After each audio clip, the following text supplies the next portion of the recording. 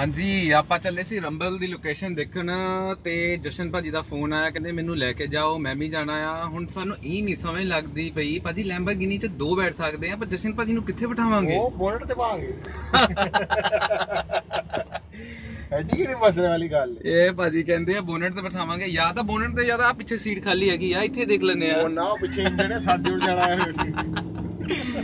ਹੁਣ ਤੁਹਾਨੂੰ ਅਗਲੀ ਵੀਡੀਓ ਆਪਾਂ ਫਿਰ ਪਾਵਾਂਗੇ ਜਦੋਂ ਉਹ ਪਿੱਛੇ ਫਸੇ ਹੋਏ ਬੈਠੇ ਹੋਗੇ ਜਾਂ ਬੋਨਟ ਦੇ ਉੱਤੇ ਬਣਾ ਕੇ ਉਹਨਾਂ ਦੀ ਵੀਡੀਓ ਤੁਹਾਨੂੰ ਦਿਖਾਵਾਂਗੇ। ਪਿੱਛੇ ਤੇ ਗਾਲਾਂ ਹੀ ਕੱਢਦੀਆਂ ਹੋਣਗੇ ਗੱਡੀ। ਪਰ ਇਹ ਆ ਭਾਜੀ ਸੋਚਣ ਵਾਲੀ ਗੱਲ ਉਹਨਾਂ ਨੇ ਸਾਨੂੰ ਕੀ ਸੋਚ ਕੇ ਫੋਨ ਕੀਤਾ ਕਿ ਮੈਨੂੰ ਲੈਣ ਆਓ ਮੈਂ ਵੀ ਲੋਕੇਸ਼ਨ ਦੇਖਣ ਜਾਣਾ। ਫਿਰ ਹੋਰ ਕੀ ਟੈਕਸੀ ਕਰਾਣਗੇ ਮੈਂ ਤਾਂ ਨਹੀਂ ਉਤਰਦਾ।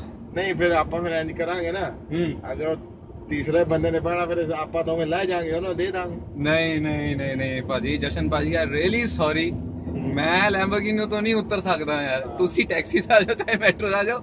ਐਦਾਂ ਕਰੋ ਨਾ ਤੁਸੀਂ ਦੋਨੋਂ ਮੈਟਰੋ 'ਚ ਆ ਜਾਈਓ। ਮੈਂ ਤਾਂ ਇੱਥੇ ਲੈ ਜਾਊਂਗਾ। ਹਾਂ ਠੀਕ ਹੈ। ਲਾਇਸੈਂਸ ਭਾਜੀ ਵਾਲਾ ਰੱਖ ਲੈਣਾ। ਵੈਸੇ ਤੁਹਾਨੂੰ ਸਹੀ ਗੱਲ ਦੱਸਾਂ ਨਾ ਮੈਂ ਹੁਣ ਨੂੰ ਗੱਡੀ ਮੈਂ ਚਲਾਉਂਦਾ ਹੁੰਦਾ ਜੇ ਮੇਰੇ ਕੋਲ ਲਾਇਸੈਂਸ ਹੁੰਦਾ। ਬਹੁਤ ਮਜਬੂਰ ਆ ਮੈਂ ਨਹੀਂ ਤਾਂ ਤਾਂ ਕੋਈ ਗੱਲ ਨਹੀਂ ਰੰਬਲ ਚੱਲਨੇ ਉੱਥੇ ਜਾ ਕੇ ਦਿਲ ਵਿੱਚ ਮੈਨੂੰ ਚਲਾਵਾਂਗੇ। ਵੀਡੀਓ ਭੇਜੂੰਗਾ ਮੈਂ। ਦਿਲ ਵਿੱਚ ਦੁਆਵਾਂ ਦੇ ਰਹੇ ਨੇ ਮੈਨੂੰ ਅੱਛੀਆਂ ਅੱਛੀਆਂ ਕੋਈ ਨਹੀਂ ਰੰਬਲ ਉਧਰ ਕੋਈ ਨਹੀਂ ਪੁੱਛਦਾ ਉੱਥੇ ਜਾ ਕੇ ਤਾਂ ਮੈਂ ਹੀ ਲੈਂਬਰਗਿਨੀ ਚਲਾਣੀ ਆ। ਕਿਉਂ ਭਾਜੀ? ਚਲਾ ਦਊਂਗੇ ਨਾ ਤੁਹਾਡੀ ਲੈਂਬਰਗਿਨੀ ਚਲਾ ਸਕਦੇ। ਆਏ ਹਾਏ ਅਸੀਂ ਤਾਂ ਤੁਹਾਡੇ ਡਰਾਈਵਰ ਆ। ਓਏ ਹੋਏ ਕੀ ਬਾਤ ਹੈ ਭਾਜੀ। ਦਿਲ ਖੁਸ਼ ਕਰਦਾ ਇੱਕ ਵਾਰੀ ਲੋਗੋ ਦੇਖ ਲਓ।